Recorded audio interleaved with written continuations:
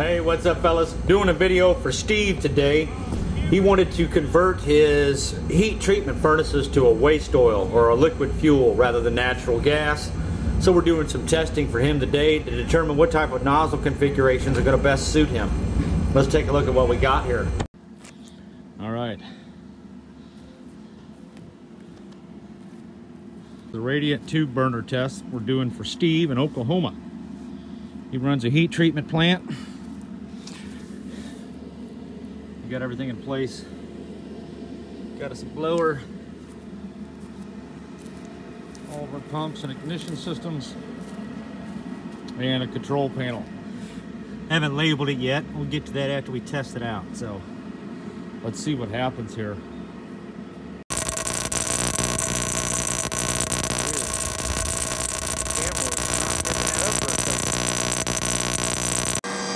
Okay, here's 250 without any preheat really. See, it's just a line there.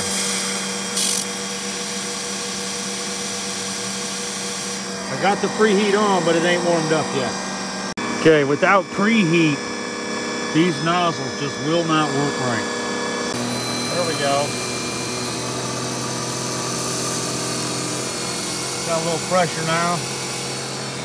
Go.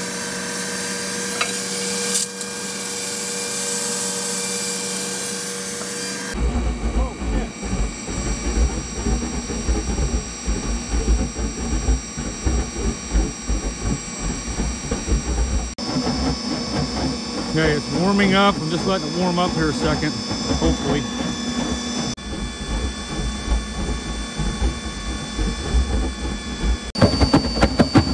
Don't like that much.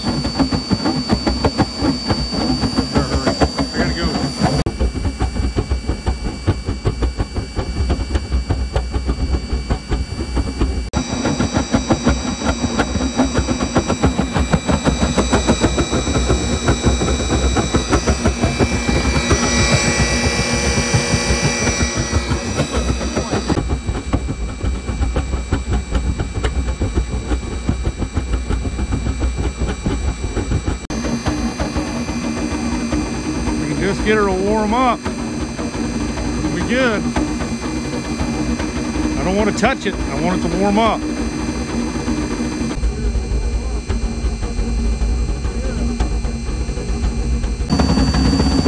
This whole section here is getting red hot now. I can see it.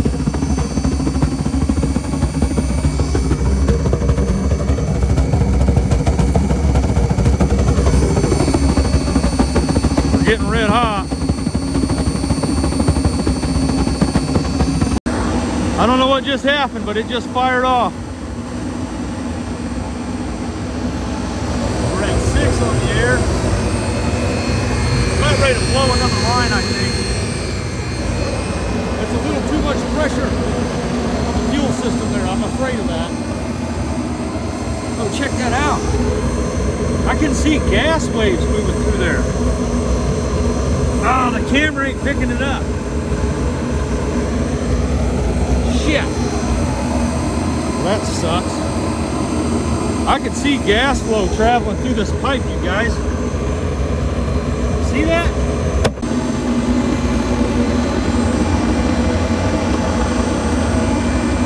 Going thermonuclear.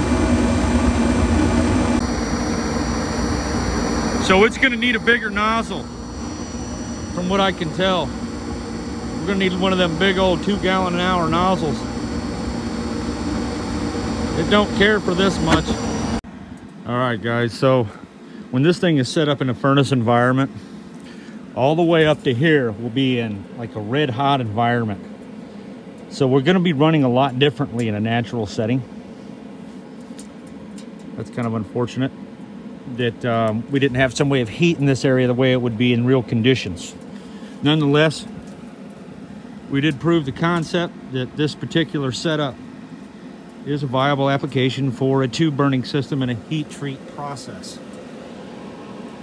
The main premise of this was to convert from natural gas to a liquid fuel, waste oils and things like that.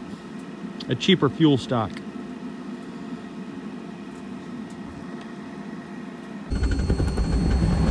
All right, Steve-O. So this is all you, man. I think we got this in the bag. Um, the size of the tubes that you guys have looked like eight inches or more, maybe. Maybe not.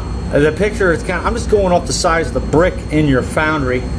So, not sure the exact diameter, but the bigger the diameter, the better this thing's going to work. We are experiencing some extremely high velocities in this very small tube. This is not an ideal setup at all.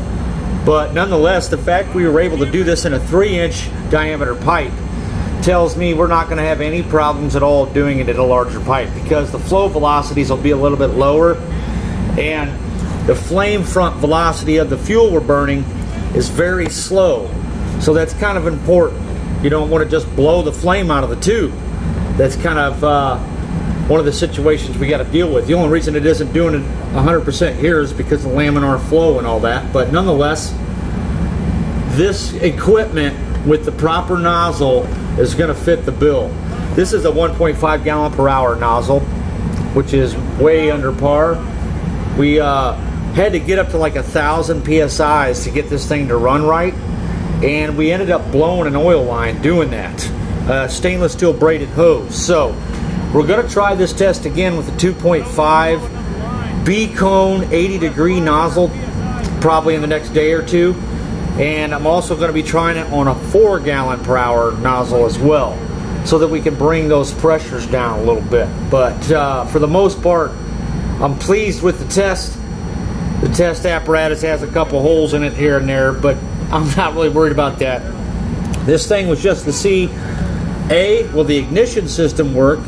And B, will the thing burn at all? And uh, we pretty much figured that out. So I'm calling it a day